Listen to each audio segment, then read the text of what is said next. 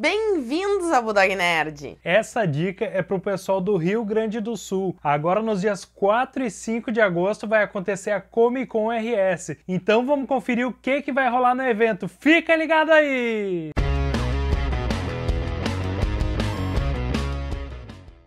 Bom, e a Comic Con RS ela já está consolidada como o maior evento de quadrinhos e cultura pop do Rio Grande do Sul. Exatamente, não é só um evento de quadrinhos, que agora a gente tem atividades de filmes, séries, livros, um bocado de coisa, né? E o evento vai rolar na Ubra Canoas, que oferece dois palcos bem amplos, tem uma estrutura bem legal lá. Bom, e assim como outros eventos de Comic Con, aqui a gente também tem uma programação simultânea com vários painéis, oficinas, expositores, lojas, espaço de alimentação, sessões de autógrafos, um monte de coisa, né? E nesse ano o convidado internacional vai ser o Glenn Fabry, que é um ilustrador super conhecido britânico, que tem capas super marcantes como do Hellblazer e do Preacher. Ele já trabalhou em Batman, Bloodshot, Creepy, revistas Mad, Deadpool e vários outros projetos. E entre os projetos recentes a gente pode destacar os desenhos para deuses americanos junto com Neil Gaiman. Né? Outro destaque desse ano é o Daniel Furlan, que é o Renan do Choque de Cultura. É, no histórico dele ele tem algumas produções que nem o Furo MTV, o último programa do mundo, Falha de Cobertura, o Lady Night com a Tata Werneck e vários outros também. Né? E aqui no evento vai ter uma sessão de fotos e um bate-papo com ele, né? É, além deles vai ter cerca de outros 50 convidados aqui na Comic Con RS. É, tem artistas nacionais, tem o Rod Reis, por exemplo, que é um desenhista da Marvel, tem o Felipe Watanabe, que é um artista da DC Comics, responsável pelo Liga da Justiça da América, né? E esse ano homenageado vai ser o Levi Trindade, que é o editor sênior da Panini. E além dele, também vão ter vários quadrinistas, jornalistas, editores, especialistas, né, em séries, games, quadrinhos. E claro, a gente vai estar tá lá no evento mostrando tudo aqui para vocês. E eu sei que vai ter espaços para quadrinhos, vai ter o trono do Game of Thrones,